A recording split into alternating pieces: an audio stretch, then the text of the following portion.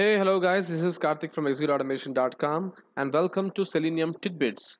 So in this tidbits, we're going to check for a control exists in the application UI or not. So basically we can check whether an element exists or not if it's displayed or not. That's how we can check whether the control exists or not in an application's UI. So how we can use this web dot method more innovatively and use it to verify if the control exists or not. So we're going to write a simple method and we'll call it as exists and then we will check the is displayed method to return true or false. If it returns true then we'll say that the control exists. If it doesn't return then surely this is displayed method will return as an no such element exception so we'll catch that and then we'll return false. So we'll talk about this in detail when we start coding with it. So i'm going to flip back to eclipse. So this is the same project which we have been working with selenium tidbits videos of this video series. So what I'm going to do is I'm going to write a simple method and let's call this as exists so it's public static. We'll call this as bool and okay sorry. In Java it's boolean. And then I'm going to pass the web element element. Alright so I'm going to check for this guy this web element exists or not. Right? So what I'm going to do is I'm going to write the whole guy in a try catch block. No such element exception. Okay that's great. And then I'm going to return a false here. It's fine. That's what is my intention. If nothing is found then return me false.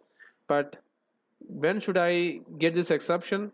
Well I try to see if the element dot is displayed method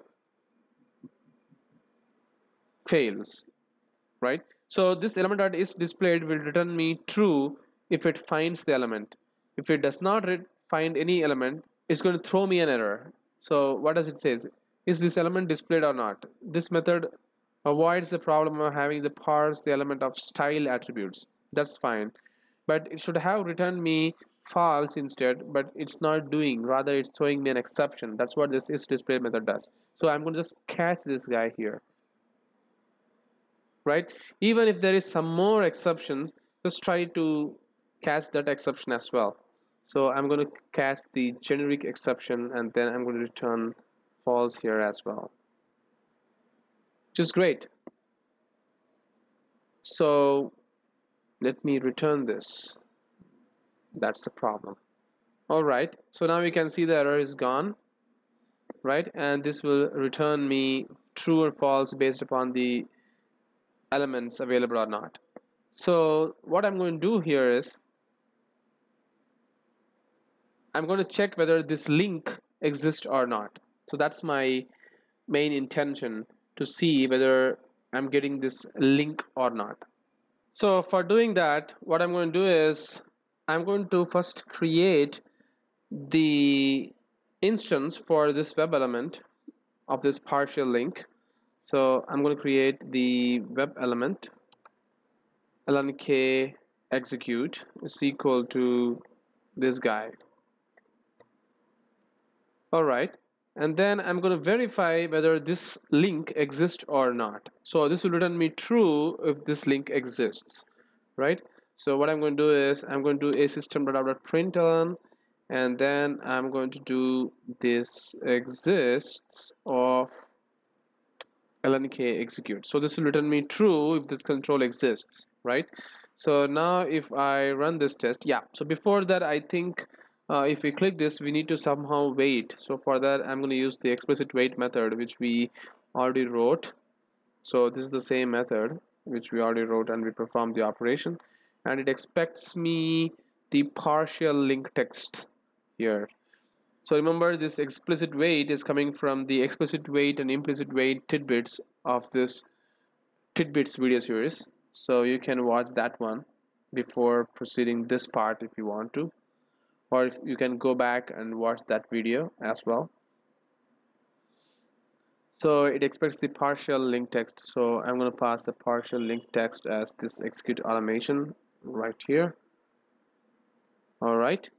So I'm to save this. And now if I run this test you can see that the browser is open and it typed the execute automation. Alright and you can see it turns me the true which is great. So if the link exists then it clicks it will it will show me the link exists as true. So if, if the link does not exist then it will show me false. Since it is catched it, it will throw it will catch the exception. And also if there is no such element exception occurs again it will return me false. So this is how you can verify whether the control exists or not in selenium. That's it guys so stay tuned for more tidbits in selenium. Thank you very much for watching and have a great day